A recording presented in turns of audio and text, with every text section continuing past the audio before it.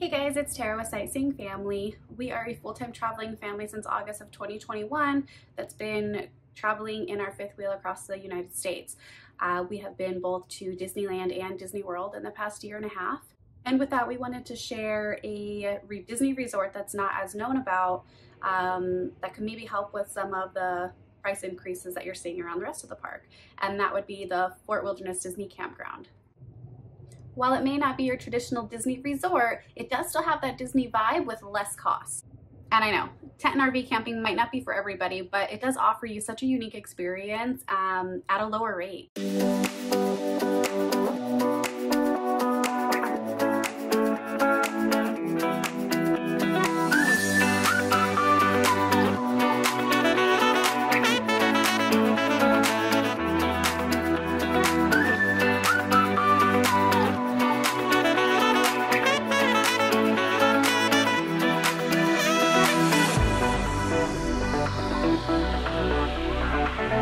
Have to check a couple different months, but I was able to find tent camping at the resort for as low as $76 a night. Um, and RV rates started in the mid to high hundreds. They also do have a cabin, which I'll show you guys here in just a minute. Um, but of course, that's going to be a little bit more expensive than your tent or RV sites would be. Okay, here's the tour of the cabins at Fort Wilderness. It's a cabin that my sister and mom stayed in.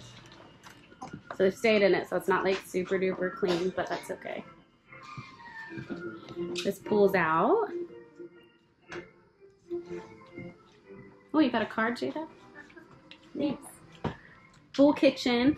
Well, there's a stove top and a microwave and a fridge. I Guess no oven, but who wants to use an oven when you're at Disney?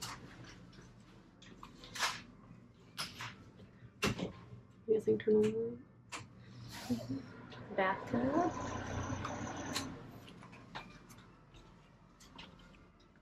Oh, you guys have two doors.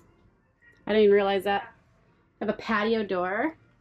So there's bed and bunks. I'm not sure if they all have this bed layout. The campground does have quite a few different comfort stations on property that are going to have your showers, bathrooms, and even laundry.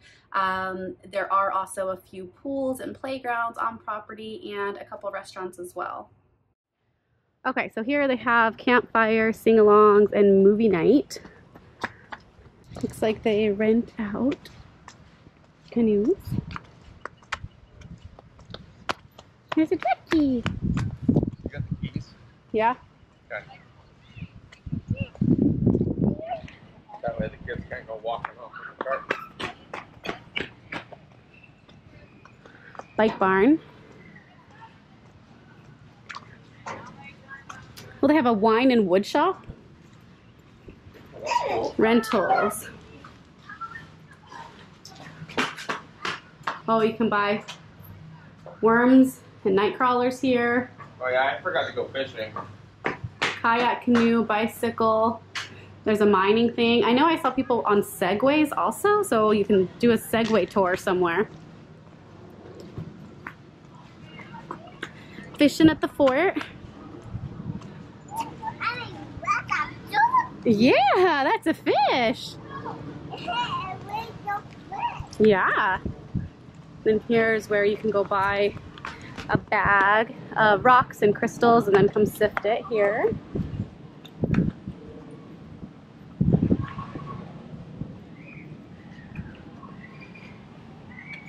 Oh, do they have pool tables over there too? Yeah, that's cool too. Fishing.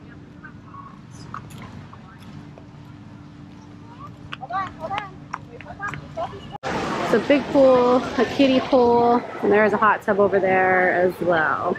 This park does have a ferry that runs directly to Magic Kingdom, and then there are also shuttle buses that will take you to the other parks, and they run every 15 minutes, so it's not really too big of a deal um, getting to and from the parks, even if you want to take a break in the middle of the day. If you plan on taking any downtime um, during your week to kind of take a break from walking around the parks, there's also something interesting to this park that I have not seen at any other Disney resort that we have stayed at.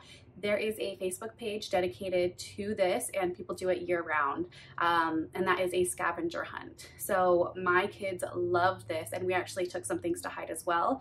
Uh, people will just take different types of Disney related items, gifts, cups, pens, keychains, and they hide them around the resort and then they'll post a picture or a hint in the Facebook group. And it's kind of a first come, first serve. So we would go out on the golf cart and try to find these treasures and the kids loved it. It was so much fun and we did find quite a few things and we were able to hide things for other families as well. Sometimes they're really tricky and then other times they're just right there that you'll kind of just see as you're walking around. Um, but I thought that this was super unique and I have never seen this done at any other Disney resort. So that's definitely a plus of staying here. So I just want to recommend that if you do go, just make sure that you're checking the weather beforehand. Uh, the last thing you want to do is be stuck in a tent and not have the proper comfort items that you're going to need um, to match the weather. So just go prepared. We did stay at Fort Wilderness in April um, and we stayed in our RV. Of course we have AC, but it was definitely warm outside. So be prepared either way. And then just let me know if you guys have any questions, drop them in the comment box. Let me know. I'm happy to dive deeper on anything to do with Fort Wilderness. There's also a full tour of Fort Wilderness already on my page, so go take a look. Let me know if you have any questions and we will see you guys next time.